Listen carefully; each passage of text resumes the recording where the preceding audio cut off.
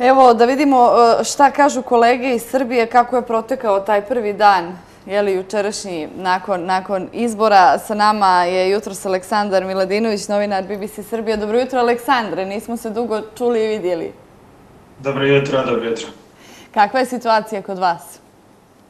Situacija je postizborna, e, mada zaista neobični izbori koji su pokazali da je Srbija zapravo skliznula ka jednopartijskom sistemu. Jedna stranka u Srbiji osvojila je više od dve trećine mandata. Poslednji put ovakva situacija bila je posle demokratskih promjena 2000. a zapravo ova pobeda Aleksandra Vučića i Srpske napredne stranke druga je po veličini u modernoj istoriji više u Srbiji, odmah iza pobede Slobodana Miloševića i SPS-a 1990. godine. Oni su tada osvojili 194 mandata od 250 u Skupštini Srbije. Spekuliše se da bi sada stranka Aleksandra Vučića na svojoj listi mogla da osvoji negde oko 190 mandata u zavisnosti od raspodele ostalih glasova. Dakle, jedna malo drugačija politička situacija u kome u parlamentu imamo samo stranke koje su u prethodnom mandatu bile vlast, dok je opozicija, što ona koja je izašla na izbore, što ona koja je bojkotovala, ostala izvan parlamenta i to će stvoriti vrlo neobičnu političku situaciju gde neće biti nikakve političke komunikacije u institucijama, gde će jedan deo građana ostati potpuno bez svojih političkih predstavnika, a većinska stranka, stranka pobednika izbora sa više od 2 miliona glasova moći će neometano da donosi sve odluke koje želi da donese. Šta kažu građani? Šta su rekli juče oni koji nisu izašli na, na izbore? Mislim da svi oni koji su izašli i koji nisu izašli na izbore su dobili ono što su tražili. Oni koji su izašli na izbore glasali su za one koje su želeli, izabrali su stranku Aleksandra Vučića velikom većinom i to je stav više od 2 miliona građana Srbije. Oni koji su ostali kod kuća, najviše ih je bilo u Beogradu, jer je u Beogradu izlaznost na izbore bila negde oko 35-36%, što je daleko manje nego u ostatku Srbije. Oni su jednostavno zadovoljni činjenicom da je bojkot bar u glavnom gradu uspeo i tvrde da je na ovaj način pokazano da u Srbiji nema uslova za demokratske izbore, da ne postoje demokratski izbori na kojima može samo jedna stranka da ostvari ovakav rezultat. I, dakle, na neki način svi su mogli da proglase pobedu, iako je jasno da je zapravo jedini pobednik ovih izbora Aleksandar Vučić i njegova Srpska napredna stranka sa jednom od najubedljivijih pobeda u novije političkoj istoriji Srbije.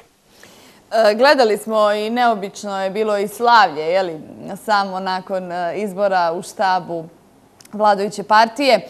Odmah juče smo čuli i vaše epidemiologe koji su reagovali i rekli da, da se situacija i tu zahuktava, da, da se stanje pogoršava. E, kad je riječ o, virusu korona, prosto raste, raste broj zaraženih. Da li sad očekujete, kad su se izbori završili i kad su ta okupljanja, jeli, e, da kažemo, završene, da će se i neke mjere pooštriti kod vas?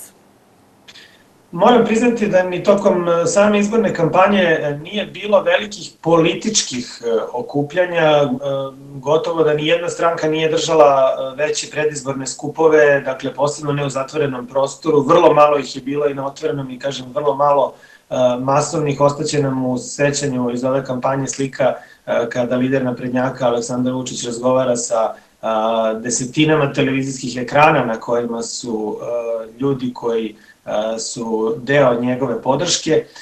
Tako da činjenica je da je bila i sama izborna kampanja vrlo neobična i bez onih očekivanih mitinga i skupova. Ono što jeste da, dočekalo građane Srbije već u prvoj noći posle glasanja, a zatim i tokom celog prvog dana, jesu obraćanja epidemiologa iz kriznog štaba koji upozoravaju da je situacija sa virusom korona ozbiljnija nego pre tri nedelje, da su se desile umeđu vremenu neke situacije u kojima se virus lako proširio, pre svega među mlađim stanovništvom, među radno aktivnim, ali i među onim stanovništvom koje na neki način voli noćni život, ako tako može da se kaže. U ovom trenutku, dakle, epidemiolozi su kao osnovne nosijac virusa označili mlade ljude. To je donekle doprinelo i činjenici da, bar po zvaničnim podacima, osim što se broj zaraženih povećao, nije se povećao i broj ozbiljno i teško bolesnih, tako da za sada situacija nije dramatična, mada jeste upozoravajuća, na to ukazuje i činjenica da se jedna od beogradskih bolnica na Bežanijskoj kosi od danas pretvara u COVID bolnicu, dakle u bolnicu za pacijente kojima je potrebna bolnička nega, a imaju oboljenja povezana sa virusom korona. Dakle, u svakom slučaju situacija jeste ozbiljnija. Danas bi trebalo da se dogodi i jedno od prvih zasedanja kriznog štaba posle duže vremena.